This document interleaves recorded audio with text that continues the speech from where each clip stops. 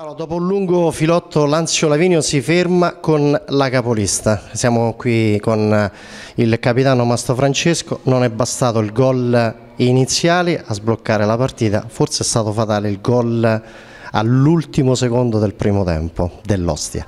Beh sì, abbiamo fatto un primo tempo dove abbiamo comunque dominato, è stata una bella partita, ritmi alti, abbiamo preso l'ultimo gol all'ultimo secondo proprio perché comunque magari la stanchezza a fine primo tempo e quello ci ha si penalizzato perché comunque finire la partita sul 2-0, sul 2-1 un po' psicologicamente cambia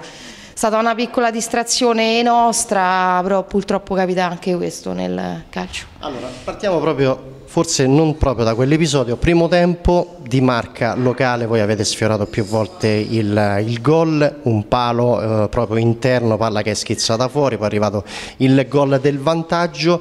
a quel punto la capolista non sembrava essere quella squadra che fino a questo momento stava, sta dominando il campionato, anche perché in campo si vedeva proprio soltanto Lanzio Lavinio. No, il primo tempo è stato tutto il nostro, ciò che a noi ci penalizza è che purtroppo non abbiamo cambi, per quanto sia dopo il secondo tempo manca lucidità, manca comunque staccare, riprendere, loro hanno fatto cambi, cambiavano in continuazione, noi purtroppo non avevamo questa possibilità, però penso che sia stata una partita giocata alla pari, anzi il primo tempo è stato tutto il nostro. Anche se poi andiamo ad analizzare i gol della Virtus Ostia sono arrivati su calcio piazzato perché il primo è il gol quello su calcio di punizione che ha dato poi il pareggio e poi sul calcio d'angolo, quindi un po' forse un piazzamento non eh, corretto, però questo Anzio Lavinio ha dimostrato che di poter veramente far qualcosa in più che è mancato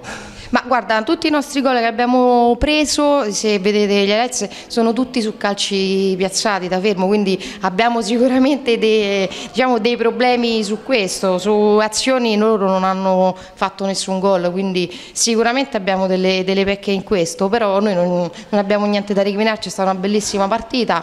giocata sul campo e a noi va bene così, insomma, comunque abbiamo dimostrato che non siamo di meno dalla capolista. Ebbene, allora ci trasferiamo, eh, ci trasferiamo, ci spostiamo verso Falconetti, resta la delusione perché poi perdere in questo modo eh, fa sempre un enorme, c'è sempre molta amarezza. Comunque la squadra forse qualcosa nel secondo tempo è mancata.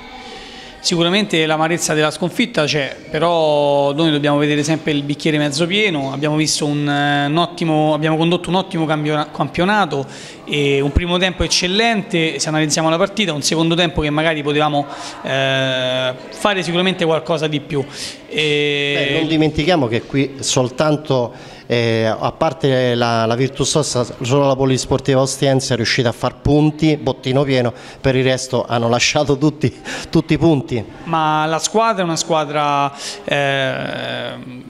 che sa eh, quello che fa, una squadra preparata, e ha condotto, ripeto, un ottimo campionato. Eh, oggi ci siamo trovati davanti a un'evidenza che è quella che ha appena adesso elencato il capitano, quindi di avere poche risorse eh, eh, in panchina in questa fase finale del campionato e questo forse ci ha penalizzato un pochettino. Però non ricriminiamo niente, è stato un ottimo campionato, c'è sempre da migliorare, ma siamo soddisfatti di quello che abbiamo fatto. Chiudiamo. Chiudiamo con l'ultima battuta, proprio ripartendo da quest'ultimo pensiero si dovrebbe forse un po' lavorare per un futuro neanche immediato, però pensare ad avere una squadra che ha più, una panchina un po' più lunga, qualche risorsa in più, anche per dare un po' più di respiro perché in questo sport poi soprattutto i ritmi sono elevati. Beh sì, diciamo che noi ci stiamo lavorando, però comunque abbiamo le persone giuste, qualche rinforzo sicuramente arriverà, c'è, però il, diciamo che comunque l'organico c'è, ci siamo, ci siamo